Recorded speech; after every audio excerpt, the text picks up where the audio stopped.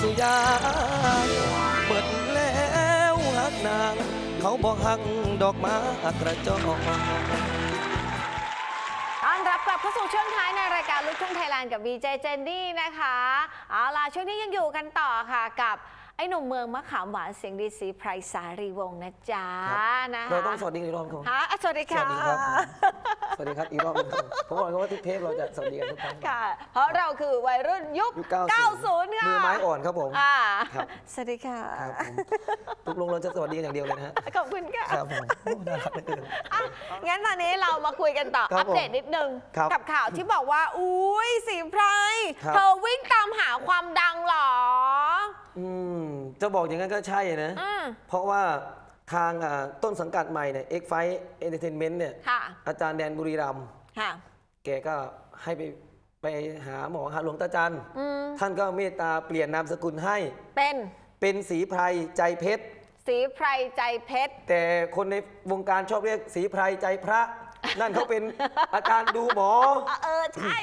นะคือคุณมันคุ้นไปคือทางนู้นกว่าไงเขามองว่าเราเป็นคนเพชรบูรณ์อืมก็อยากให้เอ่อจิตใจมันหนักแน่นอะแกร่งเหมือนเพชรก็เลยอืมเป็นที่มาใจเพชรอะก็พอไปขึ้นเวทีครั้งแรกค่ะที่อ่าจังหวัดชัยภูมิ พบกับศิลปินท่านต่อไปครับสีไพรใจเพชรเราก็ขึ้นเลยเออนอนกอดตัวเองมาโดนหลายปี ได้ยินเสียงข้างล่างแล้วพี่ นี่มันก๊อปปี้สีไพรสารีวงศ์หรือเปล่า พอลงพอลงมาผมบอกพี่ ผมมาสีไพรสารีวงศ์เอ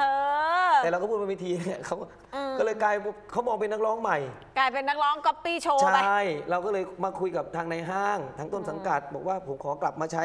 เป็นสีไพรสารีวงศ์ได้ไหม อ่า เพราะว่าแฟนเพลงจะคุ้นเคยมากกว่า ค่ะ ครับ เพราะเราก็อยู่ในวงการมาพอสมควรแล้วล่ะ อืมครับ เนาะท่านก็เลยยอมให้บอกว่า อะ งั้นเองก็ใช้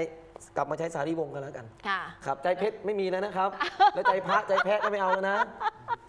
ตีตีตีตีนะ ใครล้อเรียนอะเออเนาะเพราะว่าบางทีน่ะอ่าบางทีคืออย่างสีไพรใจพระเนี่ยเขาคก็รับมีชื่อเสียงดังของเขาระดับหนึ่งครับพอเรามาอาจารย์เก่งสีไพรเก่งใจใจเพชรอีกก็ไม่เอ๊ะเราจะไปทางไหนดีเนาะครัใช่บไหมผม เพราะฉะนั้นเป็นสีไพรสารีวงศ์นี้ครับผม นะคะ รู้สึกเป็นตัวของสีตัวเองไพรคนเก่า สีไพรคนเดิมครับท่าน ค่ะ มิเปลี่ยนแปลงเป็นอื่น รักน้อยๆแต่แกะไว้นานๆรักนานอ๋อพี่เป้าของพี่โอ้เป้ายเนาะนะคะอะครับนั่นก็คือเรื่องราวของนามสกุลของสีไพรนะครัคะบผม อืมนะนั้นทุกวันนี้ถ้าเราแต่งงานเราต้องไปใช้นามสกุลภรรยาไหมถ้างั้น ภรรยาใช้นามสกุล อ๋อนั่นคือโอเค ใช่ เริ่มสับสนกับคุณแล้วนะเนี่ย คุณเปลี่ยนนามสกุลบ่อยมากเลยนะคะ อะนะ 20 ปีหรือยังอยู่ในวงการบันเทิง 18 ปีครับ 18 ปีครับผม วิฉันคิดเกินไป 2 ปีนะเออดูจากวัยรุ่นยุค 90 ของเราเอางี้ก็เป็นนักร้องตั้งแต่อายุ22อะอ่า 22กับ18 ก็บวกกันเอาครับเหรอเออเกิดมาไม่เคยอายุมากขนาดนี้เลยครั้งแรกเลยครับเนี่ยเออ ครั้งแรกเหมือนกันไปไปต่อรองกับนายทะเบียนเนี่ยเหมือนกันนะนะลดลงหน่อยได้ไหมโอ้ยเพราะเราสิเอาคำไปใส่เนี่ยจะคุยเรื่องอายุดีกว่าอย่าคุยเรารักกันชอบกันห้ามคุยเรื่องอายุอืม โอเคครับต่อเลนะยครับ นะเราวัยรุ่นยุค ครับผม90 ก็พอแล้วนะครัคะ บ 18 ปีครับในวงการครับอ้าวเรียกว่าเราดังได้ไหม ดังหรือยัง มันก็เป็นช่วงๆแหละ ผมว่า อืมก็พอมีชื่อเสียง อ่าพอได้เป็นดาวรุ่งอยู่ช่วงหนึ่งเออ ว่างั้นเถอะนะ ครับ ช่วงปี 46 ถึง 49 ประมาณนี้แหละค่ะนะคะ เราอะแต่ในความคิดเห็นของเจนนี่อะเอ่อครับ เราว่าตัวเองอะดังแล้วนะ เป็นสีภัยสาขรีอบวคุณงศ์มากครับผมอันตนี้คือมีให้ยืมตั้งสองพันนะครับแต่อย่าว่าแต่ติมสองพันเลยติมำมักลับบ้านสองร้อยว้ายตอนร้องคือเดี๋ยวสผอมงจะร้อเล่ายเรื่องราวตอนที่ผมมาอยู่กับอาจารย์จรันสารีวงศ์ใหม่ๆดีไหมเอสักอนิดเอหอนึ่ง อ่าอ่าสักนิดนึที่งบอกว่ามันไม่ได้โรยด้วยกลีบกุหลาบ แต่มันก็ไม่ได้ลำบากหรอก แต่อืมว่ามาอยู่กับอาจารย์จรันเนี่ยผมก็มีหน้าที่อ่า ช่วยอาจารย์ทำกับข้าว ถูบ้าน ล้างจานทำความสะอาดเหมือนเด็กในบ้านนั่นแหละอยู่บ้านเขาขัเลดยเหรรอ องเท้าอยู่บ้านครับ อ๋ออยู่ก็จะมีผมมีอาจารย์จรันมีพ่อตาพ่อตาอืมอาจารย์จรันอ๋อเพราะว่าแฟนอาจารย์จรันเนี่ยเขาอยู่แฟดดินแดงค่ะเขาลูกเขาต้องเรียนหนังสือที่นั่น อืมเจ๊เขาก็จะมาเสาร์อาทิตย์ ค่ะ เราก็มีหน้าที่ทำทุกอย่าง ขัดรองเท้าอาจารย์จะมีเขาจะมีรองเท้าสองคู่เออสามคู่ อืม ขัดปุ๊บเขาก็แต่งตัวลงมา9ก้าโมงก็ต้องไปทำงานเลยอ่าอาจารย์คู่นี้เลย แกก็แบบเอาขอโทษนะแกบอกมึงรู้ได้ไงเป็นคู่นี้ แหมก็แต่งตัวหล่อซะขนาดนี้เออคู่นี้อาจารย์ ตอนนี้อาจารย์เสียแล้วครับ เสียไปได้ห้าหกปีแล้วอืมครับนะคะแต่อยากจะบอกน้องๆว่า คือตอนเนี้ยน้องๆคือโชคดีกว่ากว่า ต้องบอกว่ากว่านักสีแล้วกันค่ะเพราะรุ่นนี้เป็นรุ่นหลานหมดแล้วอันนี้เป็นน้าแล้วนะเป็นน้าแล้วโอเคเพราะว่าชุดนี้มันมียุคช่อง YouTube นี่ในพวกเนี้ยก็อย่าลืมครูบาอาจารย์นะครับ อย่าลืมที่มาที่ไปพวกเนี้ยสำคัญนะฮะความกตัญญู อืมครับนะคะอันนี้เป็นสิ่งสำคัญแล้วก็ทำอ่าให้ฮะสีไพรสาสีไพรสารีวงศ์ยังคง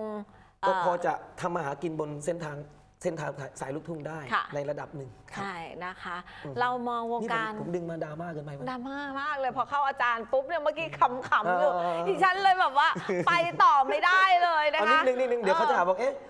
เราสองคนคุยเลยไม่มีสาระกันเลย ใช่ไหมแต่จริงๆ เราไม่ต้องการสาระหรอกนะฮะ ใช่เอเราอเน้นฮา เทปศิลปินอื่นๆ ก็สาระมากพอแล้วตามหาความฝันโน่นนี่นั่นดราม่าเนาะเอออะเจอต่อศิลปินทีนี้อย่างเธอ ฉันก็ทำงานง่าย เอาพูดตโอรงเคๆวัยรุ่นค่ะโอเคค่ะอะครับนะวงการของเราเมื่อก่อครับผนม กับตอนนี้มองว่ามันเหมือนหรือต่างกันยังไงบ้าง อืมต่างกันเยอะ อืมต่างกันเยอะคำว่าต่างกันหมายถึงว่าอ่าสีสันคนละแบบ อืม แต่ยุคเนี้ยต้องยอมรับว่ายุคนี้เด็กรุ่นใหม่พลังเยอะมาก อืมแล้วก็กล้าแสดงออกเยอะมากจ้ะยุคผมเนี่ยออกชุดแรกๆเนี่ยต้องยืนอย่างเงี้ยยืนผมหลุดเฟรมไหมเขาเนี่ยไม่หลุดเฟรมนะฮะจะกระดุกกระดิกก็ไม่ได้ไปออกรายการเวทีไทยเนี่ยเขาจะบอกเลย ศรีไพมาร์กตรงนี้นะเฮ้ยทำไมเราจะเดินตรงนี้ไม่ได้เลยอะเดินนี้ก็ไม่ได้เพราะรายการสดไง เออ เมื่อสมัยก่อนออกทีวีนี่ยิ่งใหญ่มากนะฮะ เป็นเอาเรื่อง เป็นเรื่องแบบเหมือนวาระแห่งชาติ เอาไม่ได้สิ เพราะว่าฮะเขาก็นัดกันแล้วกับทีมกล้องทีมอะไรต้ออะไรเขาจะจับใช่เธอมุมไหนให้เธอถูกหล่อต้อง เธอต้องมาร์กตรงนี้แล้วเธทีอหล่นี้อยุคที่มันเปลี่ยนนึกออกไหมอืมมันมีโลกโซเชียลใช่ไหมค่ะ ทำปุ๊บปั๊บไลฟ์สดเดี๋ยวนี้เลย อืมอ่าปั๊บปั๊บไปแล้วนี่คือความแตกต่าง อืมยุคนี้มันง่ายของพวกเรา อืม เพราะว่ายุคนี้ก็ก็มีโทรศัพท์มีอะไรก็ง่ายใช่ไหมอืมล่ะแต่ของผมนี่จะต้องไปอยู่กับครูบาอาจารย์ต้องฝากตัวอยู่ค่ายเพลง บางที ค่ายนี้เขาก็ไม่เอาเราก็มี อืมอย่างเงี้ยถึงจะเป็นแบบนี้กว่าจะได้ออกทีวีเป็นเรื่องยาก ค่ะ ช่วงนี้เรานอกจากวงการฮะเพลงวงการบันเทิงแล้วครัทำบอะไรอีกบ้าง ก็ทำอ่าอ่าอย่างที่เกริดเอาไว้ช่วงแรกอืมที่มาทำไร่มะขามหวานนั่นค่ะ ตอนนี้ก็ลง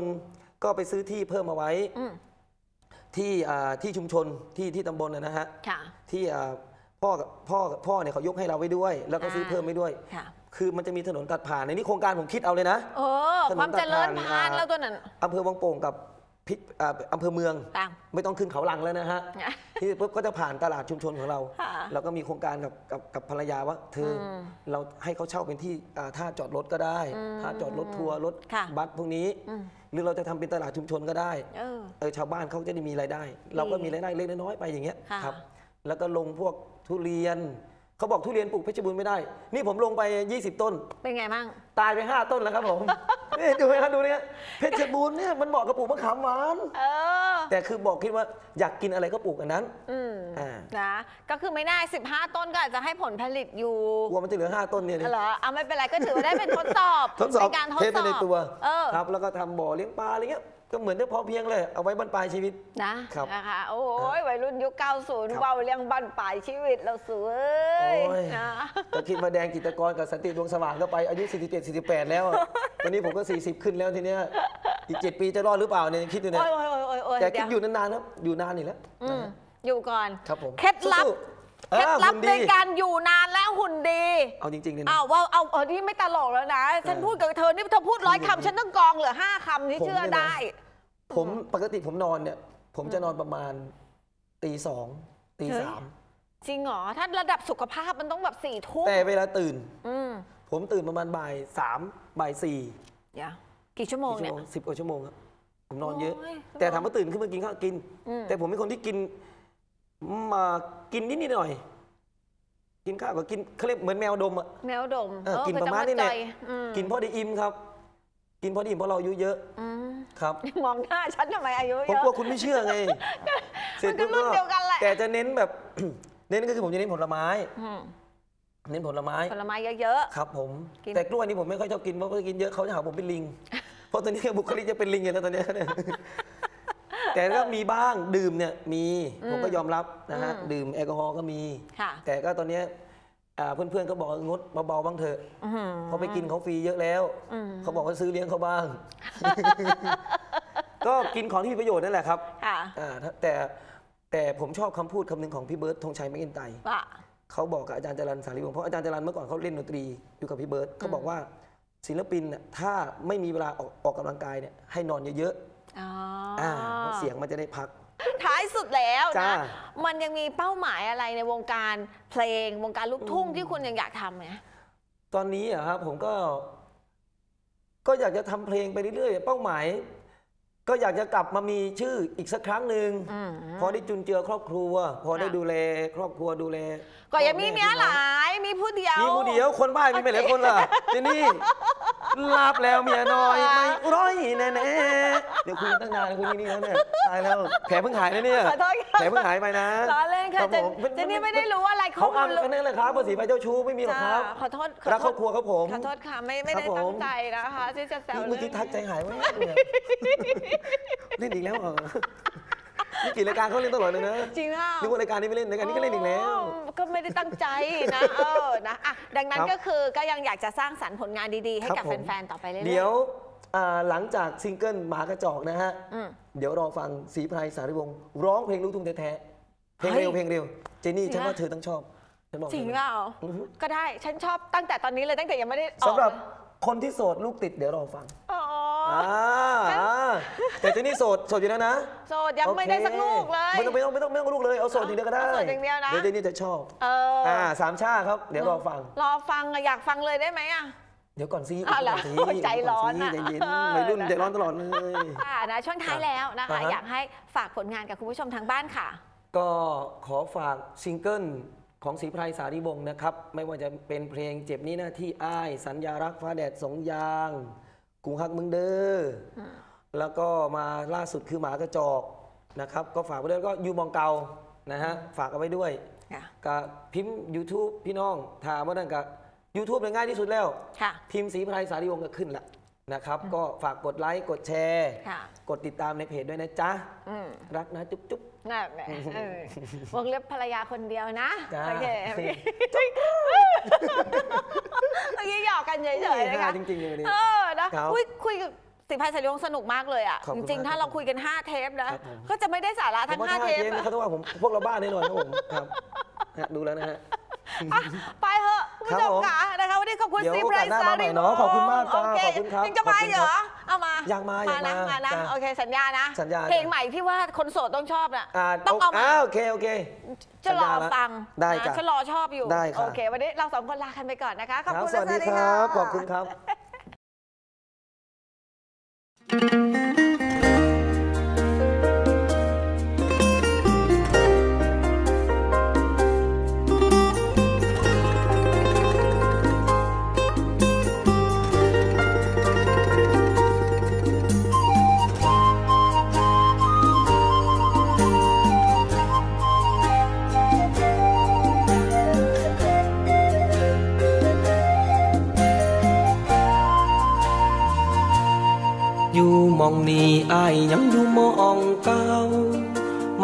จ้าเป็นเหมือนดังเงาของอาย มองที่สองเฮาบอกหากันแพงลาย มองที่อายเริ่มมีความฝัน มองที่ความฮักเฮาได้เริ่มต้น มองที่เฮาพ้นจนเจอหัวใจ ให้กันและกัน มองที่อายทั้งสุข และทั้งทุกข์มาหันก็ย้อนว่ามองนั้น เวลานี้มันบ่มีเจ้า